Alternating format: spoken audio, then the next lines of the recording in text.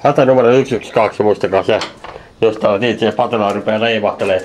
Tässä tuli taas ensi vuoden jouluvalokki löydettyä. Joulu on taas, joulu on taas. Vettä tippuu. Ja ja. Täällä on taas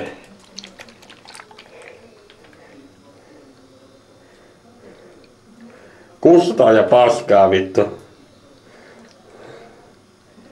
Onkohan tää kauhean turvallinen? Joo.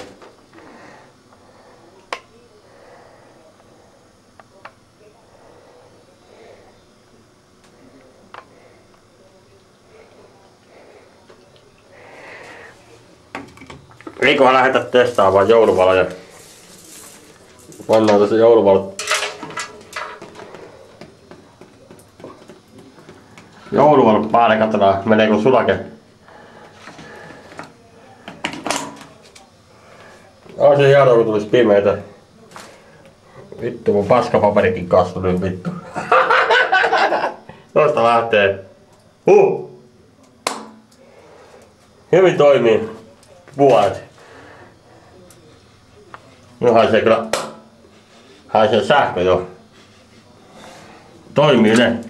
Katso se toinen. Toinen piuha on tossa. Noin.